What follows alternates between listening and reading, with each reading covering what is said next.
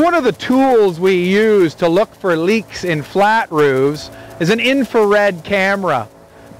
We give free infrared inspections on flat roofs and also when it comes to searching for leaks in roofs for repair estimates or resurface roofs where we have to look for areas of wet insulation to cut out and put dry insulation in.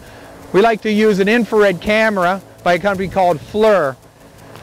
Back in the day when we looked for roofing leaks, we had either had visual, which we looked for the leak, you know, in the inside, and then we went and looked for cracks in the roof, water getting in, or we also felt with our feet and felt for soft or spongy insulation. But a lot of the times that doesn't show you, you know, it's hard to find all the leaks in a flat roof. With infrared, the water cannot hide from us. So now I'm going to show you the infrared camera. I'm going to show you some pictures with digital pictures and then show the, that digital picture in infrared and show you how water can't hide from us when we have an infrared camera. So here we have a digital camera case. Camera is made by a company called FLIR. And this is the i60 infrared camera. Has a screen there. You turn it on and it shows temperature differences only. So let's take, take the infrared camera around the roof and uh, look for water leakage.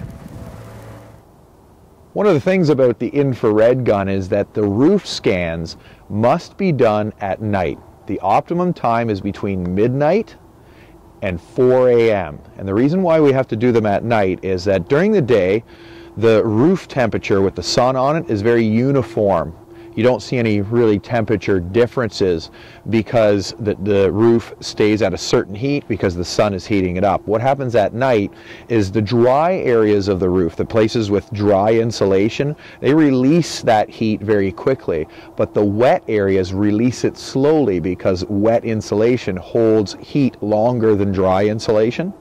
So we scan at night because we're looking for major temperature differences after the roof has released its heat. We're looking for hot spots. The hot spots are the wet spots and the wet spots must be repaired. So we have to do the scan at night. It is now 2.30 in the morning and we're going up on top of an industrial building to do a scan. So let's take a look at that now. So here we are up on the roof at night and as you can see it's pitch black. You can see the city lights but you can't see the roof at all. But Here's the infrared camera, and uh, just for reference, what you're looking at in the picture there is a skylight. And see how it's giving off heat? So let's do a quick scan of this roof and see how much leakage they have. Oh, there's some color change here.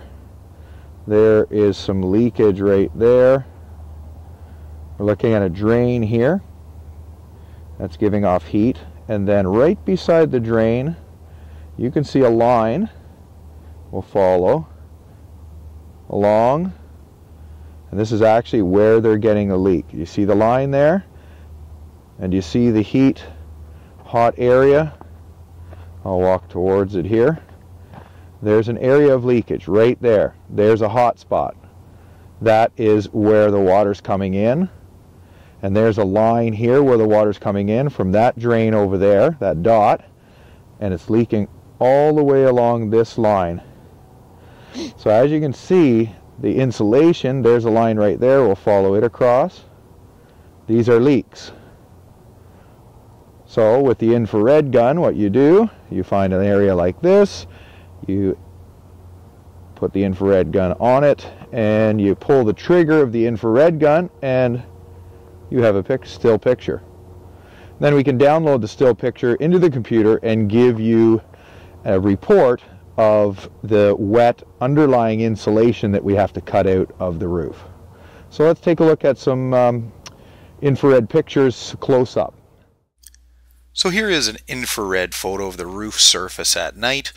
You can see the upper left hand corner there's a skylight. They get heat loss at night, but if you come down into the middle of the picture off to the right, there's a blob of heat loss. And what that is, is that's a roof leak. That's wet insulation underneath the surface of the roof. You can see the dark area around it. Well, that's dry insulation because it releases its heat faster than the wet insulation does. So late at night, we pick up the traces of the hot, wet insulation. So what we do is we use fluorescent spray paint. We spray paint around that blob. And then when we're either doing the repair or the roof resurface project, we cut out those areas and we fill them with dry insulation. So here is another photo showing two areas of wet insulation. Those pipes there are plumbing stack exhausts and in the middle there's a little circular heat loss area. That's actually a roof drain. The drains lose heat too. But those two blobs our wet insulation and then we put fluorescent spray paint around, around those at night and we when, when we come back to repair or resurface the roof we cut out those two blobs and fill them with dry insulation. So here we have a photo of, of traveling roof leak and in the upper part of the photo, we have where the roof leak is actually coming in, but you can see the water traveling across the insulation, and it actually goes diagonally across the insulation and then back down again.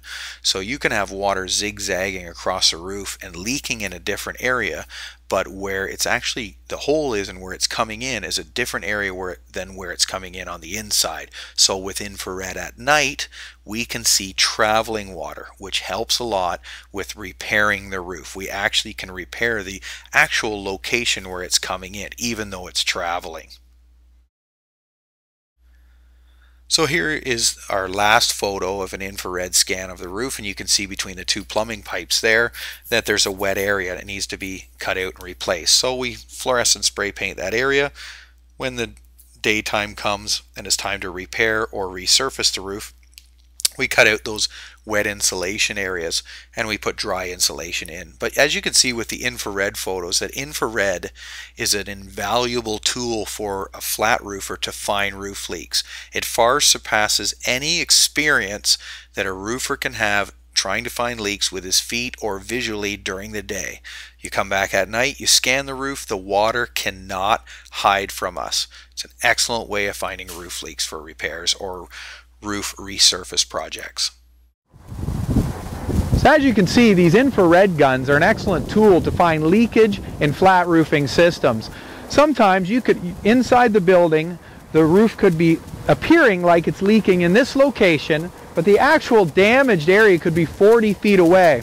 What happens is it leaks over there and it migrates either over the concrete, wood, or steel deck, and then leaks in here. With an infrared gun, you can see that stream of water underneath the roof system, trace it back to the actual location where it's actually leaking in, and repair that location. Also, we use this for resurface roofs. We scan the roof after we've power washed the roof. We do a full roof scan. We look for any wet in underlying insulation, cut those insulation areas out, and repair them with new dry insulation before we actually do the resurface. So they're a really handy tool. We give the a free infrared inspection to anyone who'd like to call and get an infrared inspection on their commercial or industrial property. So give us a call. We'll come out with the infrared gun and we'll see if your roof has any leaks.